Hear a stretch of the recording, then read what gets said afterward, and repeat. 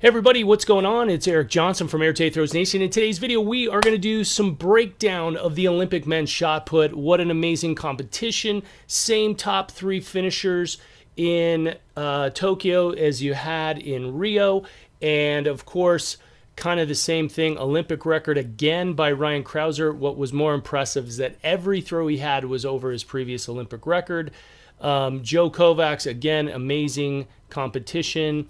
And uh, Tom Walsh saved his best competition. Obviously, all these men threw basically a meter further than they did in Rio. And that is pretty amazing. It tells you how much the level of the men's shot has just exploded globally over the last few years. So, what we're going to do is kind of take a look, look at their kind of techniques, what's similar, what's different, and what makes Ryan Crouser just so incredible as now the world record holder, seven centimeters off of his own world record at the Olympic Games. And uh, we're just going to take a peek at everything. So here we go. So let's look at uh, Crouser. Um, you know, one of the things we talk about, obviously, the goal with a lot of what we do is that you know the throwing chain reaction system is a way to take something that happens super fast ryan Crouser, all these olympians you know your pros are your perfect example. They're the fastest and they are the best. And everything that you're looking at happens super quick. And so one of the things that you're doing is we want to be able to create technical consistency. And i think that's what's so impressive especially about ryan Crouser. now if you look at tom walsh and uh, Joe Kovacs and Darlan Romani, they too are, you know, they're the, some of the greatest throwers of all time, and they're super consistent. But Ryan's consistency has been just up um, another notch. Um, so again, the one thing we talk about is how do you look at something that happens so quickly? And here, you know, the thing that when you look at it, Ryan Crouser, this is what I refer to as the holy grail of the throw. That movement around the axis. So what what you know when you're kind of looking out there um, you've got to see we always kind of try to teach there's kind of these points right? And this line is essentially going to move slightly you see that?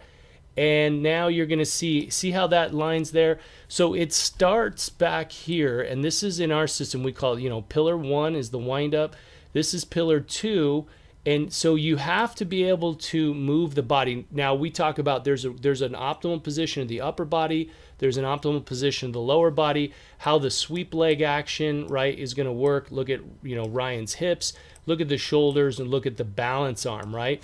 Now this is key right? Look at the knee sometimes people push this knee too far this way and that's not in our opinion how it works. What it has to do is be able to get around. Now the knee is going to push into the direction of the throw so so some people, you know, over the years, and again, the, the the insights and stuff that I like to provide in these videos are just you know my own experience as a thrower and my experiences as a coach, and what would work and what not. So um, so here's what we call as our pillar two, and then again pillar three. So he's going to push, and that's where we call the drop in, right? We're not dropping down, and some people would argue that Crouser, you know, drops, and this is where they changed this rule. Now here's my thing. I, am going to jump around because that's kind of how I, I do things, but this is I heard we we posted up some things. Everybody's like, oh foul, foul. They changed the rule. One, two. I always thought it was a stupid rule because nobody's sitting down and throwing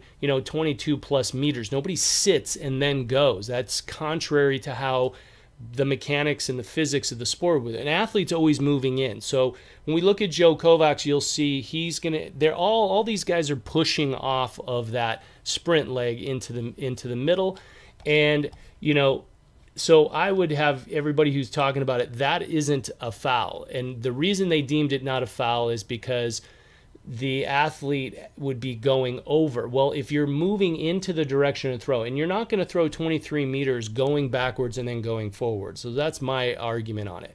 I think there's a down motion where the foot comes, but the motion is still always moving forward. And that's why I'm glad that the rule was changed. And you know, and I'm sure if they hadn't changed the rule, Ryan would have been able to adjust and he'd probably be thrown just as far. That's my opinion. Um, him and his dad, obviously, they've got this dialed. They they they're they're incredible, and he's the greatest ever. And so what can what else can he say? So here here's the key thing that we talk about though. Again, this is kind of where we're dropping in. We call this dropping in applying speed pillar three.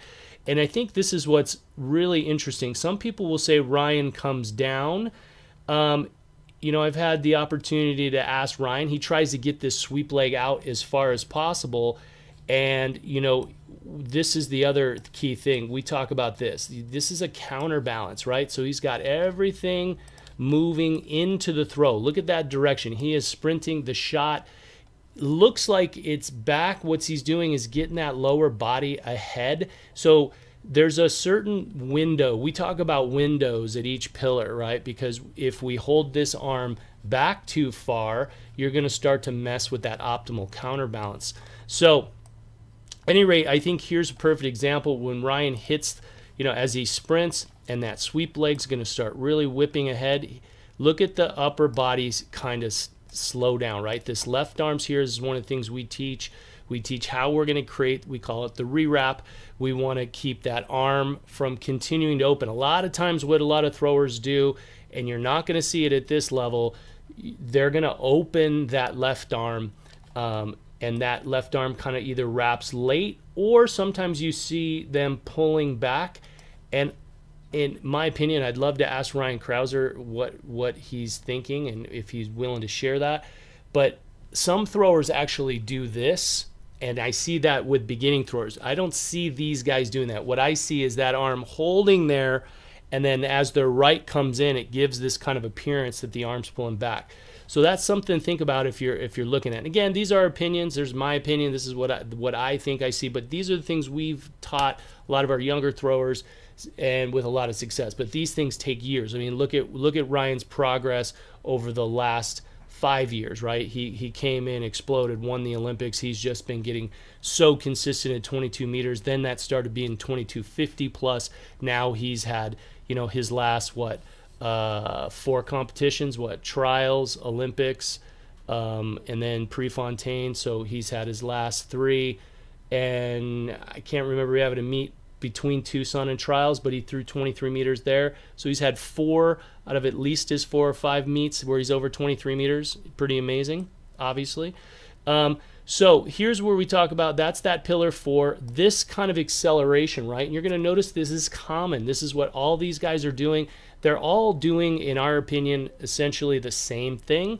They have their nuances in their individual aspects. Ryan's the tallest of all these guys.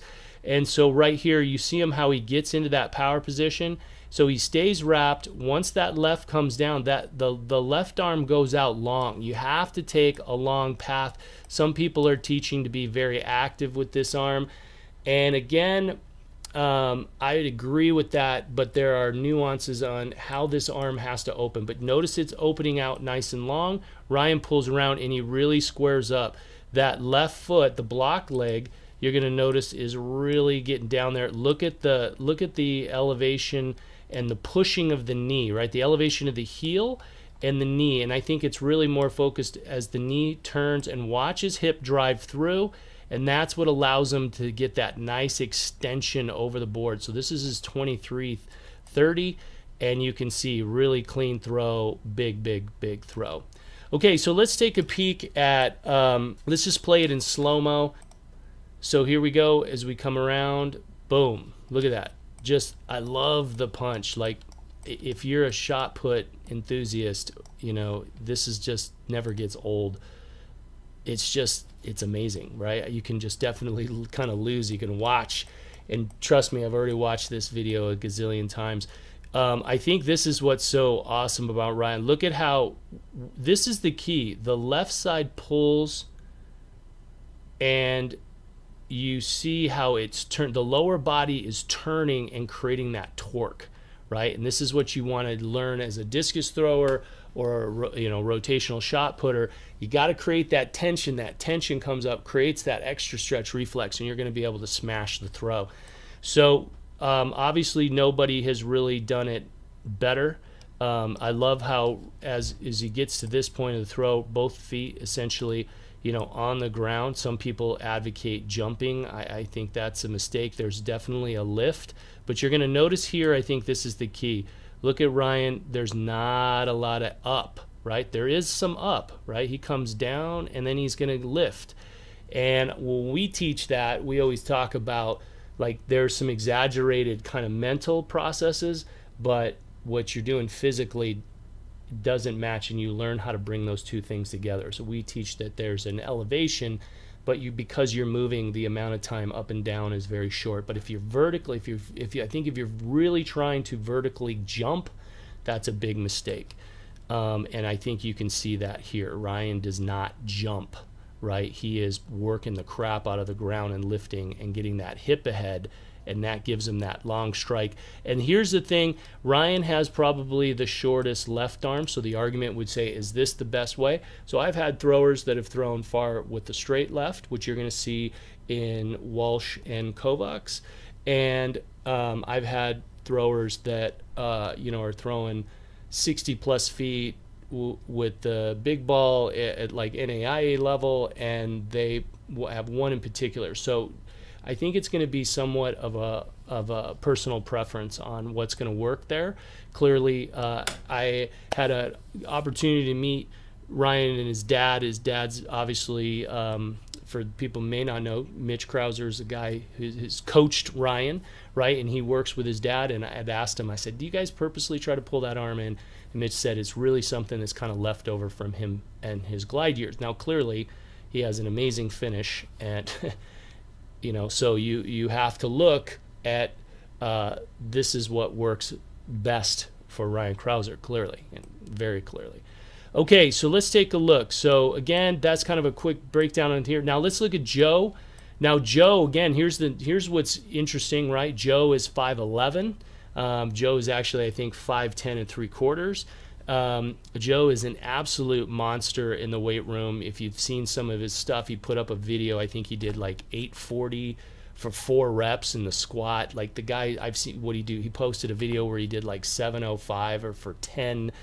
Joe's just an absolute friggin' monster. Maybe one of the strongest, if not the strongest athletes in anything.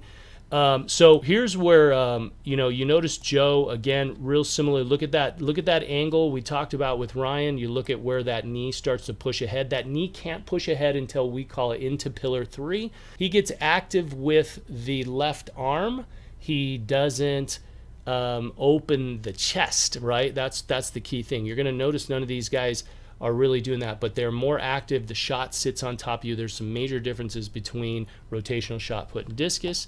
And so you're going to notice as same thing, right? We saw this. We saw the left arm and the sweep leg with Ryan, and now look at it's it's very much the same thing. Big wide sweep. That's going to come around. Watch Joe get that arm and watch that arm kind of hold the position so he gets that big wrap and then you're going to see him come down again long always got to go out long got to get that down Joe is always more up on the toe, but Joe smashes the crap out of this, and this is uh, 2265. Massive throw. This would have won every Olympics in history. This would have been an Olympic record in every other Olympics. So it really just kind of puts into perspective how amazing Joe is and how, um, you know, how incredible what what we're seeing and what Ryan Krause is doing. So let's let's play that. Um, we'll play Joe here, kind of slow mo. Watch again the same thing. Boom. We'll look at a couple other things as we break down Joe in slow mo. Again, look at I love the the action. Again, watch that aggressive sweep. You see that, and you see that sweep, that lower body really cranking ahead, just like you saw with Crouser. Again, it's hard to, to really express, right? That these guys are like, these performances are amazing. So, um, watch as uh, I really love how Joe look at Joe's right leg is ridiculous, right? Like look at that thing just smashing into the throw. I mean, the lower body just never there's never any delay, right? Watch that right leg. Wham. I mean, and Joe has the same thing. The thing you're going to see with all these guys is that block arm stops. That block arm's never back. I see a lot of people get taught how to pull, how to come up and come down. This is not the action on a rotational throw it's out and it stops, right? Boom, it, it's going to hit. And watch, I think this is what's what's so impressive again, Joe really punches ahead. He's got this amazing strike, crushes the shot. Look at that block arm. You have to feel that push, right? You feel this. You can't feel this. I see a lot of people out there teaching um, really active left side, which I don't necessarily disagree with. I think there's a window, and if you get out of that window, that's something we talk about in the throwing chain reaction. You're out of position. You're you're not going to make it. So they come around, boom! It's just like a hard crush. That block arm, wham, and you feel that right. And we always equate it to a knockout punch, like MMA or boxers. Basically, when they hit, right, boxers aren't throwing punches like this. They're throwing punches like that. And this is the same principles. You got to block that block side and deliver. Bam! You want to deliver that big punch. So again, Joe does that. Joe's always so impressive. Again, what do you have? Five five throws or four throws over 22 meters at the Olympic trials. He did the same thing here. Mass, you know, ton of throws. What I think it was four or five over 22, two over 22. He went 22 60, 22 65. I mean, this just just incredible. Okay, so let's take a look at Walsh. Now, Walsh is clearly the one everybody looks at. Now, Walsh, um, these guys are trying to, in our opinion, it looks like, right, he's trying to get super, he gets more active again. This is, again, what we talk about, and we teach these elements. We've had, uh, had one of my athletes this past year we had more of an offset kind of modeling Walsh, and it's it's a definitely a tricky technique. But this is what you're looking at again. Here's that commonality: long balance arm, big sweep leg. This is the this is a system, right? The knee is really pushing in. Walsh has the offset. So let's do this. I'll play him. I'll play Walsh in full speed. Walsh is very quick, and again, Walsh. Uh, what was it? 22. Uh, 47 and uh, big day. I mean, you know, he was only what seven centimeters off the previous Olympic record. So great performance for him um, in a in a very good series. So, but look at this. Watch now. Walsh really cranks it, and Walsh gets the orbit a little different. So you're going to notice that Walsh again. You're going to see where where Ryan and I think Ryan and Joe actually have much more similar technique. Um, I think Walsh and Romani, they have more attributes. I think they're a little bit more similar. They're going to drop their left arm a lot more. Ryan and Joe have their arm up, and we'll look at a comparison of all four of them in a second. But look at Tom; he really comes down. Again, you're going to see the same thing. He really he gets this big, wide uh, knee position here, and it really he. I think I love the way his left arm comes out. You see that that big, long position here. He's going to come down. Look at that foot come down.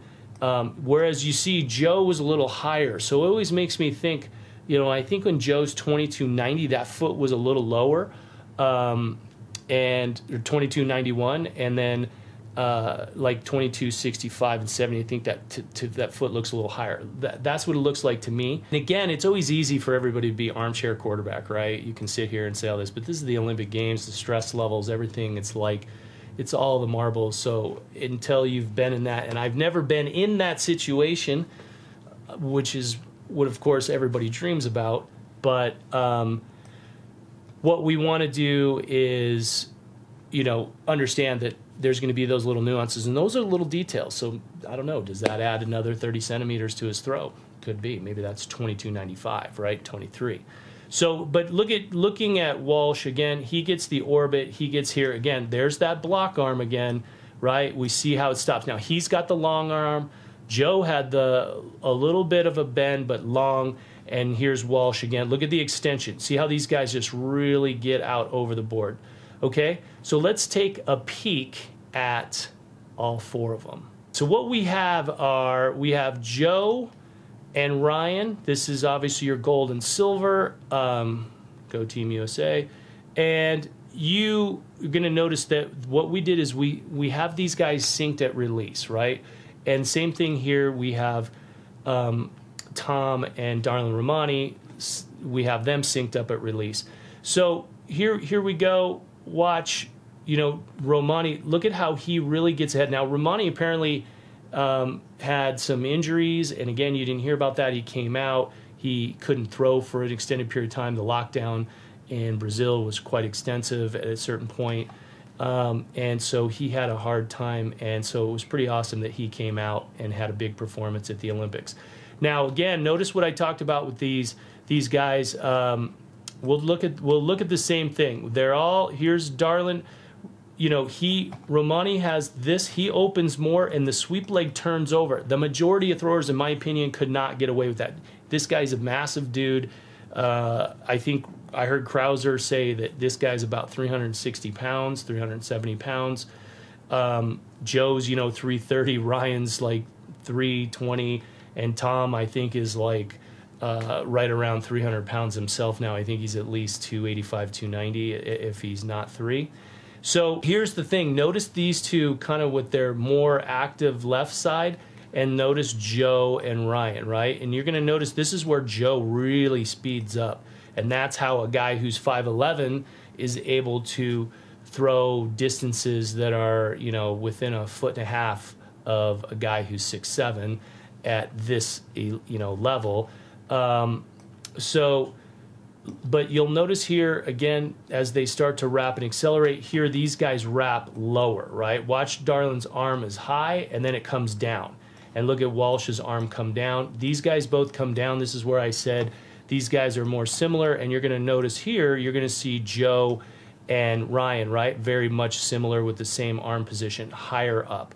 So what happens is these guys come here, but they all finish long and Darlan looks like he's pulling off. Like, you know, if you looked at Darlan's 2261, I think, this PR, again, he had that squared up a little bit more, right? And that's the difference between, you know, 2180 and, you know, 2260 is he was more squared up and punching it a little bit more like what you would see Joe do it. I think this is what you saw more of Romani when he hit his PR.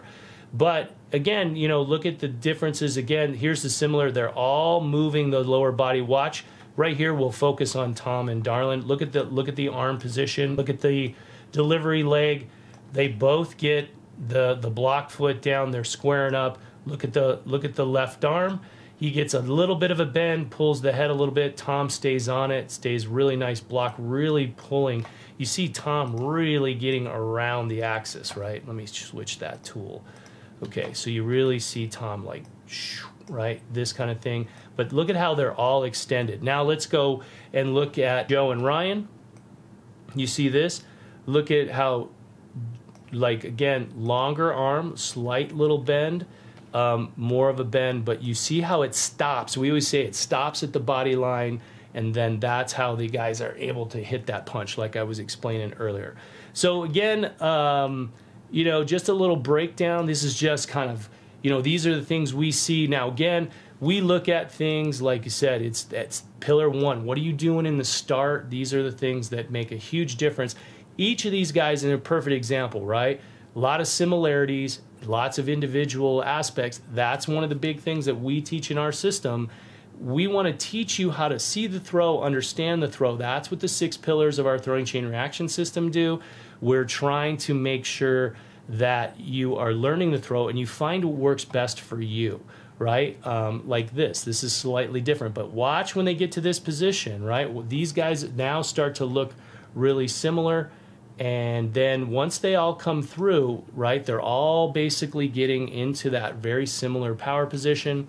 And so let's look at Crouser and Kovacs, right? You see them again really squaring up and punching, and all these guys create that great extension. So I'm jumping around a little bit, but the point is, again, you have to understand what works for you individually, right? That's the key. Now, they're all in our argument is always that these guys hit the, the same six pillars, but they have their individual nuances that optimize what they're going to do at each position for them.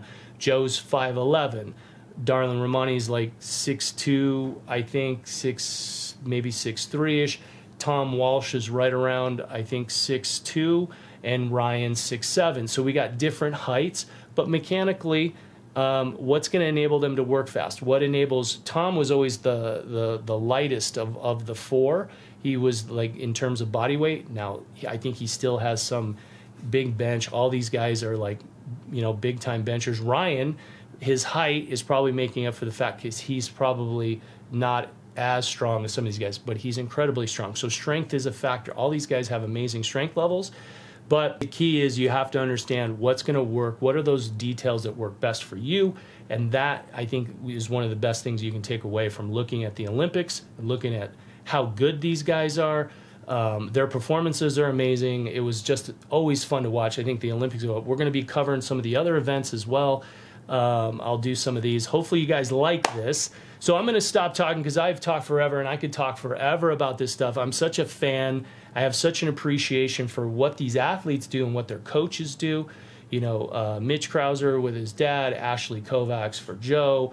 Um, I don't know who Darlan's coach is, and I know I think it's Dale Stevenson for Tom. But you remember the key thing is that all these guys have um, coaches that have gotten them there. That's a really key thing. That's a big thing. Again, part of our big focus at, at Throws Nation with our throwing chain reaction is that we're trying to help more coaches. We've seen that. Just remember, you don't get there on your own. You got to have, uh, you know, your partner, your coach is going to be your your right hand, and you, none of these guys could be there without that. I think they'd be the first to tell you that. So congratulations to all these throwers and their coaches. The Olympics was just fantastic to watch. It's going to be really exciting. You guys are going we're going to put this video out. There's going to be a handful of Diamond League meets left. Crouser just came off a Prefontaine and threw another 23 plus meter throw. Um, so just incredible to watch. But uh, congratulations to everybody. Hopefully you guys liked what we covered in today's video. A little bit long, but um, I can talk about this forever, and hopefully you guys enjoyed watching. If you have anything you'd like to see or anything specific, maybe I'd like you'd like to have broken down or specific parts of the throw, be sure to throw that in the comments. Be sure to check the links to check out our throwing chain reaction system if you're looking for how to understand the why and how to see and coach and uh, figure out specifically the individual need for each athlete you coach, or if you're coaching yourself, that's all there. So we thank you, and we will see you on the next video. Take care.